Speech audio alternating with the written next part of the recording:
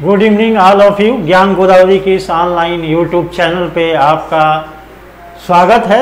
और हमने टीजीटी के नागरिक शास्त्र यानी सिविक से जुड़े पाठ्यक्रम पे पिछले तीन चार दिनों में हमने तीन चार वीडियो आपको उपलब्ध कराए हैं। और उसी क्रम में आज जो है, हम अगला पाश्चात्य राजनीतिक विचारकों से जुड़ा वीडियो जो है आपके सामने लेकर आए हैं। और हमारी चर्चा की श्रृंखला में हमने प्लेटो के विभिन्न आरंभिक जीवन और राजनीतिक विचार से जुड़े टॉपिकों को लेकर आपके सामने हमने वीडियो में प्रस्तुत किया है और आज उसी क्रम में हम आगे बढ़ने की कोशिश करेंगे। आपको टीजीटी के नागरिक शास्त्र से जुड़े टॉपिक के विभिन्न वीडियो इस चैनल के माध्यम से मिलते रहेंगे, लेकिन आप चूँकि एग्ज़ाम की अभी फॉर्म नहीं आया है और उम्मीद थी कि अक्टूबर लास्ट में आ जाएगा लेकिन ये माध्यमिक शिक्षा सेवा चयन बोर्ड अपने हिसाब से ही कदम उठाता है और अपने ही गति से फॉर्म देता है। लेकिन हमें किसी भी एग्ज़ाम की आगे की तैयारी जो है, वो एक उचित समय लेकर करना चाहिए, क्योंकि अगर फॉर्म आ गया और एग्ज़ाम की डेट दो महीने के अंदर रख दी गई तो फिर हड़बड़ाहट हो जाएगी अभ्यर्थियों को और कम समय में तैयारी करना एक मुश्किल भरा प्रयास हो जाएगा।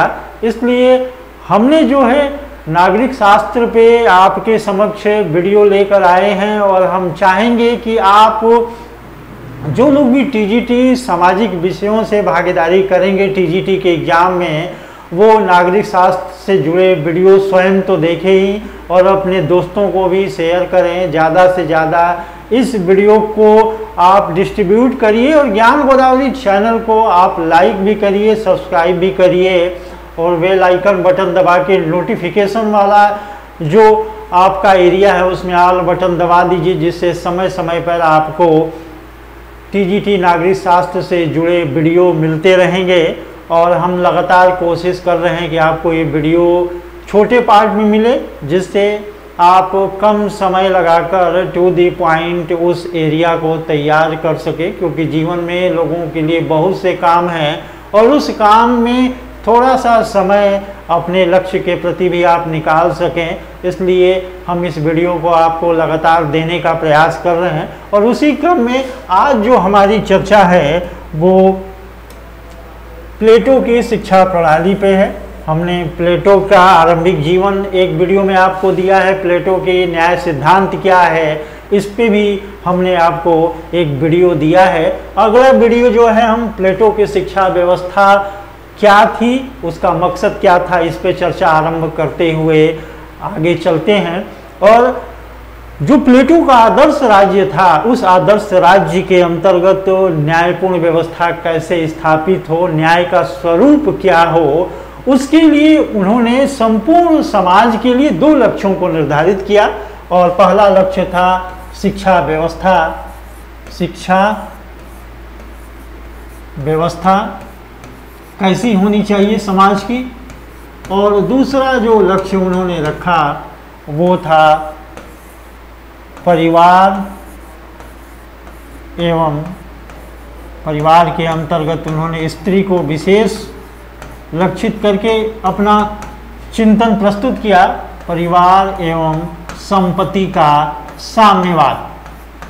और हम आज संपत्ति का साम्यवाद और हमारी जो चर्चा होगी, वो आज प्लेटो की शिक्षा व्यवस्था पर होगी कि प्लेटो अपने आदर्श राज्य को प्राप्त करने के लिए कैसी शिक्षा व्यवस्था संचालित करना चाहता था, कैसी शिक्षा व्यवस्था राज्य या समाज में स्थापित करना चाहता था। प्राचीन यूनानी विचारक जैसा आप जानते भी हैं कि राज्य और समाज में कोई अंतर नहीं करते हैं।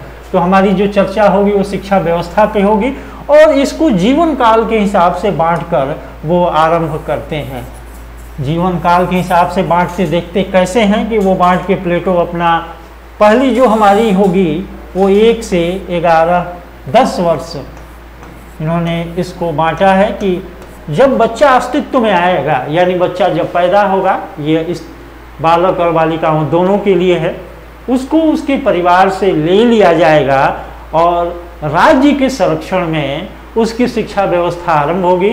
तो पहला जो 10 वर्ष की शिक्षा होगी, वो फ़िज़िकल एजुकेशन शारीरिक शिक्षा शारीरिक शिक्षा इसमें ज़ोर दिया है फ़िज़िकल एजुकेशन का उनका मतलब ये था कि प्रत्येक विद्यालय में व्यायामशाला और खेलकूद का मैदान होगा और उससे बच्चों का शारीरिक विकास इतना अच्छा हो जाएगा कि आने वाले समय में वो किसी रोग से बच जाएगा और उसको चिकित्सा सुविधा की ज़रूरत नहीं होगी, यानी शरीर से वो बड़ी हिष्ट पुष्ट होगा। और चूँकि प्लेटो खुद ही शरीर से हिष्ट पुष्ट थे तो हर आने वाले पीढ़ी को वो हिष्ट पुष्ट ही बनाना चाहते थे।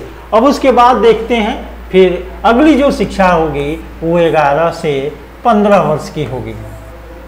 पंद्रह वर्ष की। इसमें उन्होंने बल दिया कि संगीत की शिक्षा दी जाए। संगीत की शिक्षा। संगीत की शिक्षा से क्या होगा? उनका ये मानना था कि जब शारीरिक हिष्ट पुष्ट वाले व्यक्ति को संगीत की शिक्षा दी जाएगी तो उसके मन मस्तिष्क में कोमलता का सृजन होगा, यानी संवेदना लोगों के प्रति बढ़ेगी सेंसेशन उसका बढ़ेगा तो किसी भी के भी प्रति वो संवेदात्मक व्यवहार करेगा, यानी संगीत की शिक्षा 11 से 15 वर्ष में दी जाएगी। और इसी के अंतर्गत उन्होंने कहा कि विज्ञान, गणित व इतिहास, इन तीनों की शिक्षा संगीत के माध्यम से दी जाएगी। यानी गीतों के रूप में इन चीज़ों इन तीनों चीज़ों को लोगों के समक्ष प्रस्तुत किया जाएगा बच्चों को, जिसे वो आसानी से समझ सकें और उनका एक अप्रोच समाज के प्रति डेवलप हो। फिर उन्होंने 15 वर्ष के बाद 16 से 20 वर्ष में 16 से 20 वर्ष में नैतिक शिक्षा पर बल दिया है। नैतिक शिक्षा पर बल दिया है। ये जब नैतिक शिक्षा 16 से 20वें वर्ष में लोगों को दी जाएगी। 20 वर्ष की अवस्था में जो भी बालक बालिकाएँ रहेंगे, उनकी एक परीक्षा होगी।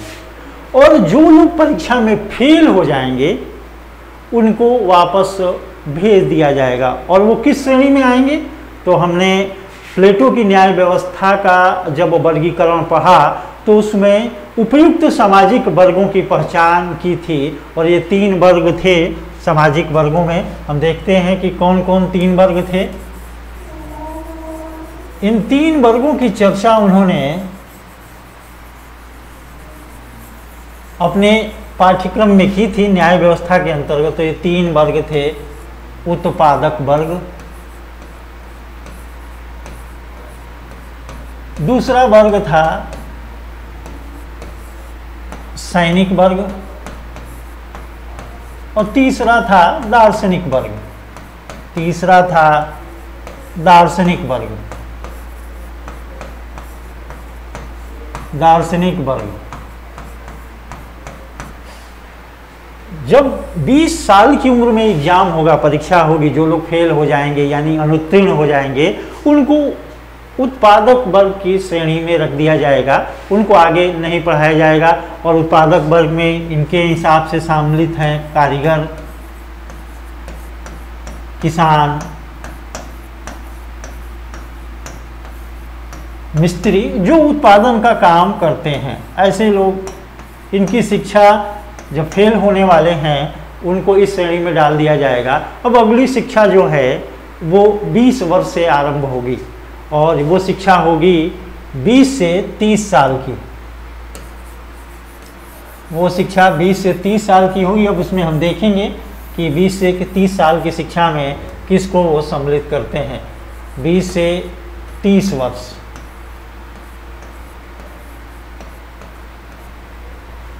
बीस से तीस वर्ष की जो शिक्षा दी जाएगी, उसमें दो वर्ग शामिल होंगे, सैनिक वर्ग और दार्शनिक वर्ग, क्योंकि उत्पादक वर्ग 20 वर्ष की परीक्षा में फेल होने के बाद वो वापस चला गया। जो पास हुए लोग, वो 20 से 30 वर्ष उनको शिक्षा दी जाएगी और इसमें जो है शिक्षा होगी शारीरिक।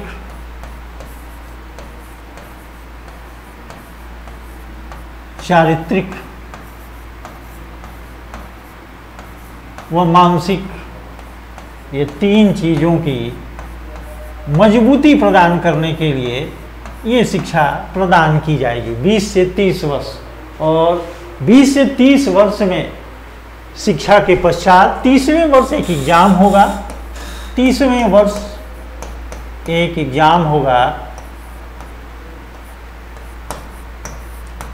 और इस एग्ज़ाम में जो लोग अनुत्तीर्ण हो जाएँगे, यानी फेल हो जाएँगे, उनको सैनिक वर्ग के रूप में परिवर्तित कर दिया जाएगा। तीसवें वर्ष में जो लोग फेल हो जाएँगे, जो लोग पास होंगे, वो तीसरा वर्ग, जो दार्शनिक वर्ग है, उसकी तरफ़ अपना कदम बढ़ाएँगे। और 30 से 35 साल की उम्र में जो है, देखते हैं किस चीज़ की शिक्षा दी जाएगी। 30 से 35 साल की उम्र में 30 से 35 वर्ष दर्शन शास्त्र की शिक्षा होगी। दर्शन शास्त्र की शिक्षा होगी। दर्शन शास्त्र की शिक्षा दी जाएगी। और 30 से 35 वर्ष में दर्शन शास्त्र की शिक्षा दी जाएगी और 35 से 50 वर्ष में 35 से 50 वर्ष में ये लोग दर्शन शास्त्र का पूर्ण ज्ञान प्राप्त करके जीवन की यथार्थ समस्याएँ, जो जीवन की समस्याएँ हैं, उनको जूझने के लिए उनको वापस भेज दिया जाएगा कि वो आप व्यवहारिक जगत में अपनी शिक्षा का कितना बेहतर उपयोग करते हैं, उसको आप दिखाइए जाकर और 50 वर्ष की उम्र में जो लोग दर्शन शास्त्र का पूर्ण ज्ञान प्राप्त कर लेंगे और अपनी उस ज्ञान को व्यवहारिक रूप में ढाल कर समाज की समस्याओं का समाधान करने में सक्षम होंगे तो वो दार्शनिक शासक बनेंगे। लेकिन चूँकि ये दार्शनिक शासक जो हैं, दार्शनिक शासक जो हैं, वो मोह माया से मुक्त होंगे दार्शनिक शासक मोह माया से मुक्त होंगे और जब ये मोह माया से मुक्त होंगे तो अपने आप ये शासक नहीं बन जाएँगे। प्लेटो का कहना है कि आम जनता जब इनसे अनुनय विनय करे कि आप आके शासन की बागडोर संभालिए, तब ये दार्शनिक शासक बनेंगे। यानी जो शासक दर्शन शास्त्र का ज्ञान प्राप्त करके और शासन का आधार से फिर ज्ञान बनाएँगे, उसको जो है, वो शासक के रूप में, जनता के अनुनय बिने पे, यानी जनता द्वारा अनुरोध करने पे उन्हें शासक के रूप में नियुक्त किया जाएगा। ये प्लेटो की शिक्षा प्रणाली है। प्लेटो की शिक्षा प्रणाली का मकसद ही यही था कि आदर्श राज्य के लक्ष्य को कैसे प्राप्त किया जाए। लेकिन इसकी आलोचना इस बिंदुओं पे होती है कि 50 वर्ष की उम्र तक क्या कोई व्यक्ति पढ़ाई करता रहेगा? और दूसरी बात है कि उस समय जो जीवन प्रत्याशा थी, वो 80 से लेकर 100 तक थी। लेकिन आज के समय में जीवन प्रत्याशा पैंसठ से 70 के बीच है।